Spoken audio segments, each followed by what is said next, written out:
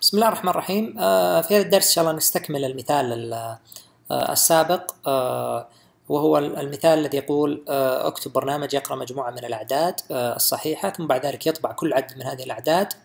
والبرنامج يتوقف عندما يقرأ أو عندما يدخل المستخدم ناقص واحد. ذكرنا طبعا أنه البرنامج راح يقرأ آه، أن ال- أنه آه، ليس لدينا وسيلة في الجافا لقراءة مجموعة من الأعداد مرة واحدة فلذلك سنضطر إلى أن نقرأ الأعداد عدد عدد. بالتالي هذه عملية ت- نحتاج تكرارها. فهنا نحتاج loop.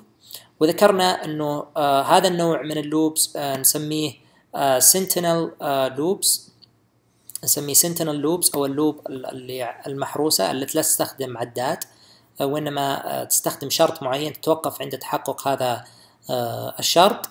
آه، كتبنا ال pseudo code حق البرنامج وهو كالتالي اقرأ عدد. طالما العدد لا يساوي ناقص واحد اطبع العدد ثم اقرأ عدد آه، جديد. خلونا الآن نكتب آه، البرنامج آه، آه، في بلغة الجافا. آه، طيب.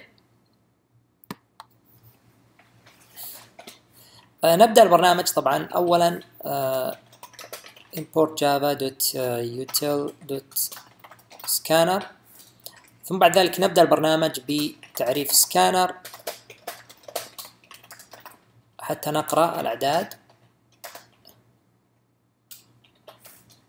آه بعد كذا راح آه آه خلوا أذكركم آه بالسودو كود اللي كتبناه.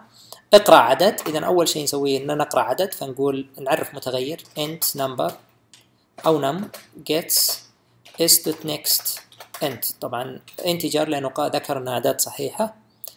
بعد كذا نكتب ال ال while while آه زين أذكركم طالما العدد لا يساوي ناقص واحد إذا while num آه لا يساوي ناقص واحد.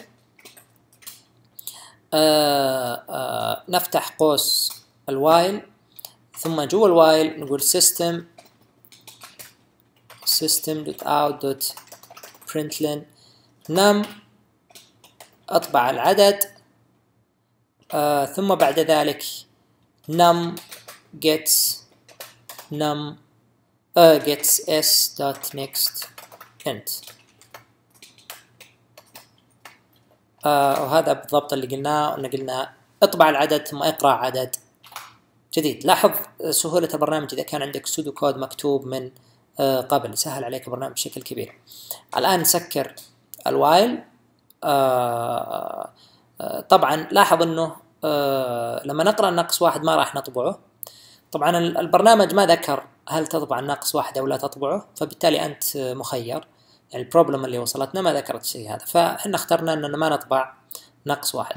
طبعا راح نكتب هنا آه آه نكتب اسم minus 1 آه نحفظ ال- ال- البرنامج. باسم minus 1 dot java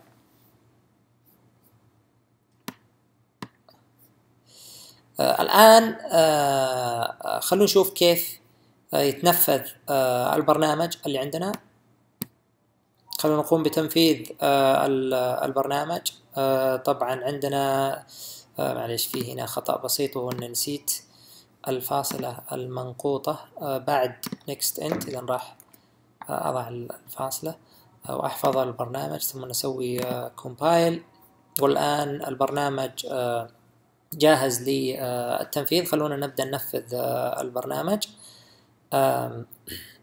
طيب.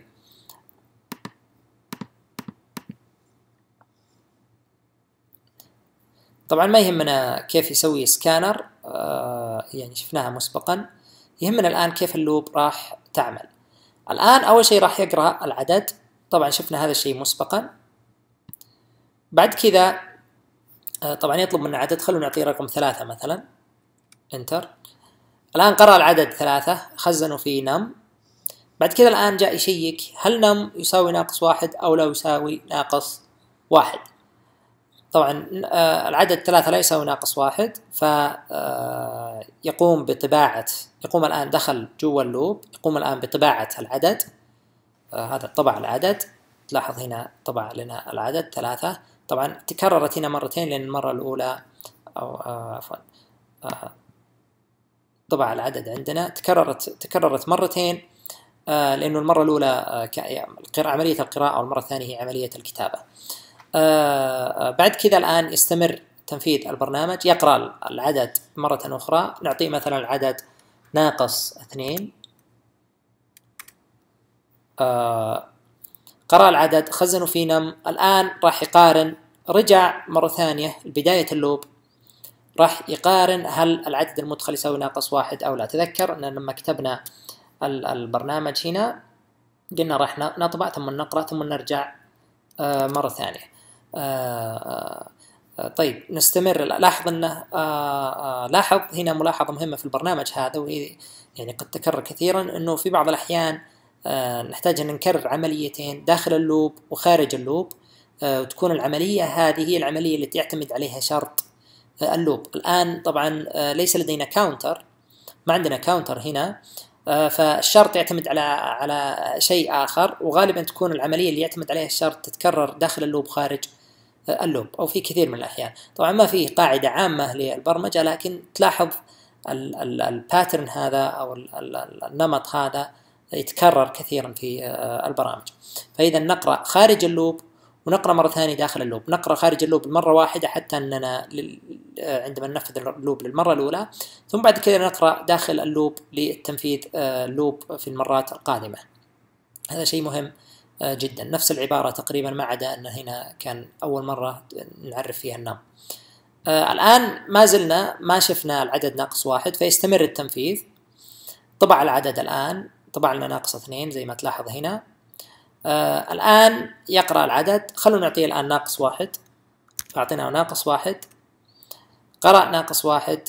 آه آه نم الآن يساوي ناقص واحد. تحقق شرط الوايل لوب آه أو عفوا انتفى شرط ال while loop. فإذا آه، آه، تحقق الشرط الذي نريده آه، لتوقف ال loop. ذكرنا أنه تتوقف ال loop لما ندخل ناقص واحد. فدائما نضع نفي الشرط هنا. فقلنا أنه استمر في ال loop ما دام ال num لا يساوي ناقص واحد. أرجو أنك تلاحظ الملاحظة هذه. الشرط الذي نريده لتوقف ال loop قلنا إن ال loop تتوقف أو البرنامج يتوقف عندما المستخدم يدخل ناقص واحد فبالتالي لما جينا نكتب ال loop وضعنا نفي الشرط هذا. فقلنا إنه استمر في ال loop ما دام ال input لا يساوي ناقص واحد. آه اذا آه انتفى شرط ال loop وخرجنا من ال loop. بدون أي عد لاحظ إني أستطيع تنفيذ البرنامج مره مرة ثانية. آه في المرة الأولى آه لاحظ إني دخلت رقمين ثلاثة وناقص اثنين ثم بعد كذا دخلت ناقص واحد. آه في هذه المرة آه راح آه أدخل آه، العدد ناقص واحد مباشرة. مباشرة أول عدد أدخله هو ناقص واحد. آه، لاحظ الآن أنه البرنامج طبعا ما راح يتنفذ لأنه من أول مرة انتفى شرط اللوب من أول مرة تحقق الشرط اللي نريده لإنهاء البرنامج. زين؟ آه فبالتالي آه آه انتفى شرط ال loop وخرجنا من آه البرنامج. أرجو أن يكون البرنامج واضح. آه ونعيد مرة أخرى. هذه آه نسميها sentinel loop آه sentinel based loop أو ال loop التي لا تعتمد على counter وإنها تعتمد على شرط آه معين. تستمر ال loop ما دام هذا الشرط آه لم يتحقق آه ثم بعد ذلك تتوقف آه اللوب آه إذا تحقق الشرط الذي آه نريده.